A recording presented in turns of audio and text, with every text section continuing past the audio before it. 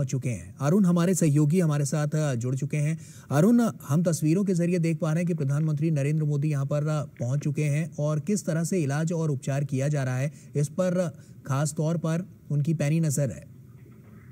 बिल्कुल Gaurav prime minister Narendra Modi, जैसा कि हम सुबह ही से अपने दर्शकों को बता रहे हैं कि prime minister Modi accident site पर जाएँगे, वहाँ पर रिव्यू करेंगे सिचुएशन को और उसके बाद में वो हॉस्पिटल का भी हॉस्पिटल में जाएँगे, वहाँ पर जो घायल हैं, उनसे मुलाकात करेंगे।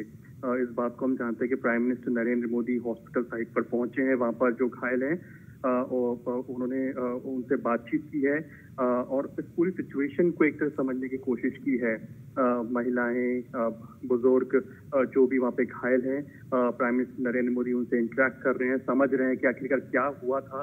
कहाँ से बैठे थे कौन से स्टेशन से बैठे थे क्या हुआ था जब ये एक्सीडेंट हुआ था किस तरह से आप लोगों को यहाँ पर पहुँचाया गया है किन किन दिक्कतों का आपको सामना करना पड़ा जिससे कि आगे रेस्क्यू ऑपरेशन कैसे बेटर हो सके तो प्राइम मिनिस्टर की जो प्रिलिमिनरी हम्म। चीज़ें हैं वो एक तरह से इन परिजनों से एक तरह से यहाँ पहुँची है दूरदर्शन न्यूज़ की टीम लगातार इस खबर पर नज़र बनाए हुए है आपको बता दें कि प्राइम मिनिस्टर नरेंद्र मोदी ने सुबह ही एक तरह से जो तमाम स्टेक होल्डर्स हैं टॉप गवर्नमेंट ऑफिशियल्स हैं उनके साथ बैठ करके रिव्यू बैठक करी है। उस रिव्यू बैठक के बाद में हम्म। दोपहर में prime minister Narendra Modi accident site पर पहुँचे हैं और वहाँ पर उन्होंने एक ग्राउंड सिचुएशन को समझा है। ग्राउंड ज़ीरो पर जो लोग काम कर रहे थे इस रेस्क्यू रिलीफ ऑपरेशन में जो लोग मौजूद रहे हैं उसमें एक तरह से उनसे बातचीत की है।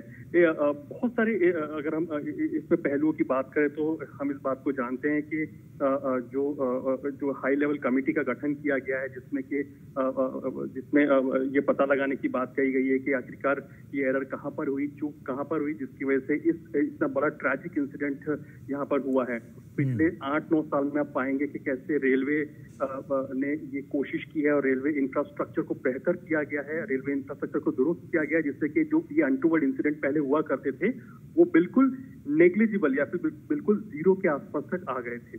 लेकिन क्या वजह रही कि इतना बड़ा ट्रैजिक इंसिडेंट हुआ है?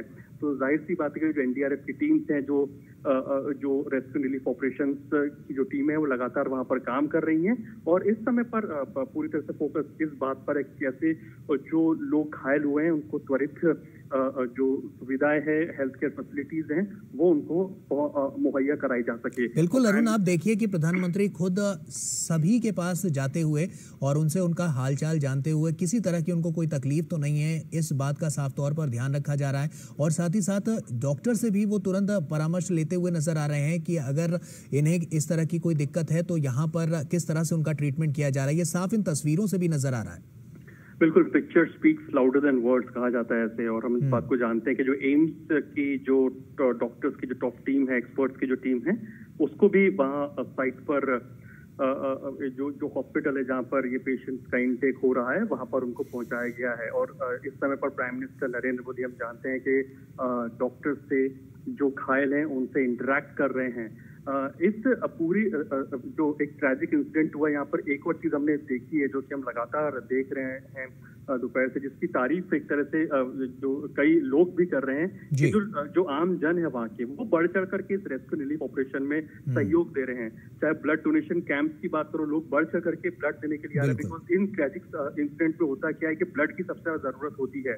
ब्लड लॉस इतना ज़्यादा हो जाता है कि आपको इमीडिएटली इतना ब्लड मोबिलाइज करना बहुत दिक्कत का काम होता है। स्पेसिफिकली अगर आप छोटे शहरों की बात करें वहाँ पर हम्म। खून की कमी ब्लड की कमी होती है। तो ऐसे में जो वहाँ के जो स्थानीय लोग हैं वो ब्लड डोनेट करने के लिए काफ़ी बड़ी संख्या में वहाँ पर आए हैं। जिसका संज्ञान भी आप देखिए, वहाँ पे जो जो जो चीफ सेक्रेटरी है, उन्होंने भी इसको ट्वीट करके इसकी जानकारी दी कि ब्लड डोनेशन वहाँ पे जो लोग कर रहे हैं, भारी संख्या में लोग आ रहे हैं। खाने पीने की दिक्कत ना हो, इसलिए लोकल्स वहाँ पे हैं, वो बढ़ चढ़ करके वहाँ पर सहयोग कर रहे हैं। तो एक से ह्यूमैनिटी का एक एंगल है कि देश एक तौर पर कैसे खड़ा होता है, जब इस तरह की त्रासदी हो जाती है और कैसे एक बेहतर कोऑर्डिनेशन के साथ में काम करता है एडमिनिस्ट्रेशन के साथ में मिलकर के, उसके एक तरह से तस्वीर यहाँ पर देखने देखने को मिल रही है। लेकिन हाँ इस समय पर प्राइम मिनिस्टर नरेंद्र मोदी, उन्होंने ये हॉस्पिटल विज़िट किया है और जो वहाँ पर जो पेशेंट हैं, जो जो घायल हैं उनसे इंटरेक्ट किया, बातचीत की, हर पहलू पर बात की। कि आखिरकार किन किन दिक्कतों का आपको सामना करना पड़ा, या फिर किस किस तरह की आपकी आपका टेक केयर किया गया है। तो इन तमाम चीज़ों को prime minister Narendra Modi first hand input लेते हुए इन घायलों से और डॉक्टर से भी बातचीत करते हुए इंफ्रास्ट्रक्चर जो हेल्थ का है, उस लिहाज से किस तरह के ह्यूमन रिसोर्स की ज़रूरत पड़ेगी पैरामेडिक्स की ज़रूरत पड़ेगी, या फिर और कितने लोगों की यहाँ ज़रूरत पड़ेगी ताकि इस तरह की जो बड़ी त्रासदी में जो लोग घायल हुए उनको कैसे जल्द से जल्द इनिशियल जो केयर होती है, जो हेल्थ केयर होती है, वो मुहैया हो सके तो इस बात पर फोकस। और प्राइम मिनिस्टर नरेंद्र मोदी लगातार इस ट्रैजिक इंसिडेंट पर नज़र बनाए हुए प्राइम मिनिस्टर ऑफ़िस लगातार इन्वॉल्व है मॉनिटरिंग कर रहा है इस पूरी सिचुएशन की और तमाम स्टेक होल्डर्स के साथ में लगातार उनसे इनपुट ले रहा है। और क्या कुछ इमीडिएट बेसिस पे किया जा सकता है जिससे कि किसी भी तरह की कोई रुकावट या फिर कोई इश्यूज़ ना आए इस तरह के रेस्क्यू रिलीफ ऑपरेशन के अंदर उस बात को इंश्योर किया जा रहा है। तो ज़ाहिर सी बात है कि prime minister Narendra Modi is leading from the front on the ground zero at this moment और इसी वजह से हम देख रहे हैं कि जो ये रेस्क्यू रिलीफ ऑपरेशन आप कह सकते हैं अपने एक तरह से अंतिम पड़ाव में आप कह सकते हैं लेकिन अब पूरा फोकस इस बात पर शिफ्ट होता हुआ दिखाई दे रहा है कि जो लोग घायल हुए हैं उनको कैसे। जल्द से जल्द एक उनको केयर मिल सके और प्राइम मिनिस्टर नरेंद्र मोदी इस समय पर उनसे इंटरेक्ट करते हुए बातचीत करते हुए बिल्कुल जब से इस हादसे की खबर आई थी, तब से प्रधानमंत्री नरेंद्र मोदी विचलित नज़र आ रहे थे और लगातार स्थिति पर अपनी पैनी नज़र बनाए हुए थे। उसके बाद इन्होंने समीक्षा बैठक भी की, खुद वहाँ पर गए, जायजा भी लिया और उसके बाद लोगों तक लोगों तक यहाँ पर पहुँचने के बाद जब प्रधानमंत्री यहाँ पर लोगों से उनका हालचाल भी लेते हुए नज़र आ रहे हैं और कहीं ना कहीं जो एक कह सकते हैं, जो पीपल टू पीपल कनेक्ट की बात प्रधानमंत्री हमेशा से कहते रहे हैं, वो यहाँ पर साफ़ तौर पर नज़र आ रहा है।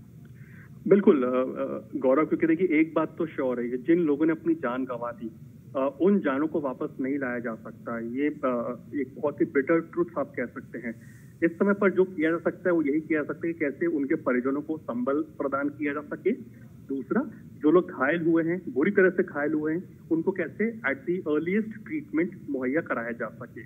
फाइनेंशियल असिस्टेंस की घोषणा कर दी गई है सरकार द्वारा। और इस समय पर पूरा फोकस इस बात पर है कि किस तरह से जो हेल्थ केयर फैसिलिटी है सुविधाएँ वो घायलों हम्म। को मिल सके। दूसरा इस पूरे एपिसोड के अंदर या फिर कोई भी ट्रैजिक इंसिडेंट होता है डिजास्टर जब भी हिट करते हैं उस पर कई बार कंट्रोल नहीं होता कई बार कंट्रोल होता है। तो ऐसे में फोकस इसी बात पर रहता है कि कैसे कम्युनिकेशन को दुरुस्त किया जा सके और रेस्क्यू रिलीफ ऑपरेशन को बेटर किया जा सके। हमने लगातार रात से ही देखा कि जो लोकल एडमिनिस्ट्रेशन है वो बहुत ही बारीकी से नज़र बनाए हुए हैं और अफवाहों का दौर गर्म ना हो अफवाहों का बाज़ार गर्म ना हो इसलिए ऑथेंटिक इन्फॉर्मेशन दी जा रही है।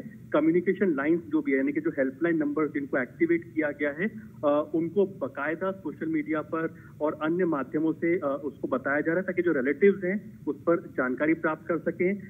होता यह है कि डेथ टोल का आंकड़ा कई बार सोशल मीडिया पे अलग अलग आ रहा होता है इससे कई जो परिजन होते हैं आप उनकी हालत देखिए क्या होती होगी जिनका जो, जो परिजन है रिलेटिव हैं उस ट्रेन में जो ट्रैवल कर रहे थे क्योंकि उस डेथ टोल का आंकड़ा जो बढ़ता है तो उन आ, आ, उनको भी कहीं ना कहीं परेशानी होती है। तो ऐसे में एक ऑथेंटिक इन्फॉर्मेशन लगातार दी जा रही है जिसकी वजह से पैनिक सिचुएशन क्रिएट ना हो लोकल लेवल पर भी आप पाएँगे। तो बेटर कोऑर्डिनेशन को करने की पूरी हम्म। कोशिश की जा रही है जिसमें कि ये इंश्योर किया जा रहा है कि जो घायल है जहाँ पर शिफ्ट किया जा रहा है उसके बारे में इंफॉर्मेशन हो उनका नाम पता बकायदा लिखा हुआ हो और इस चीज़ को इंश्योर किया जा रहा है कि कैसे अस्पताल में जहाँ पर है उसके कैसे डेटाबेस मौजूद हो।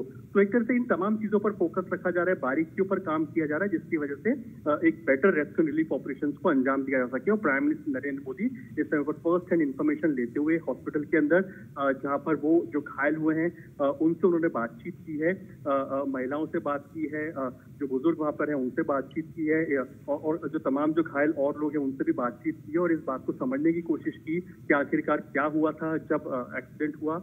एक तरफ़ एक पहलू तो उनको बताया गया, जब उनको ब्रीफ दी गई है ग्राउंड ज़ीरो पर जहाँ पर वो मौजूद थे। अब prime minister Narendra Modi hospital में आकर के उन लोगों से भी एक तरह से इनपुट ले रहे हैं जो कि घायल हैं। उनसे भी समझ रहे हैं कि आखिर क्या कुछ हुआ था हम्म। जब ये एक्सीडेंट हुआ था और आप जब यहाँ पे अस्पताल में आए हैं तो आपको किन किन दिक्कतों का सामना करना पड़ा और किस तरह से आपको यहाँ पर हॉस्पिटल ने एड्रेस किया है। इन तमाम चीज़ों के एक तरह से इनपुट यहाँ पर इन लोगों से लेते हुए जो कि घायल यहाँ पर हॉस्पिटल में इनको पहुँचाया गया है। और ज़ाहिर सी बात है इस समय पर prime minister Narendra Modi ground zero पर खुद मौजूद हैं।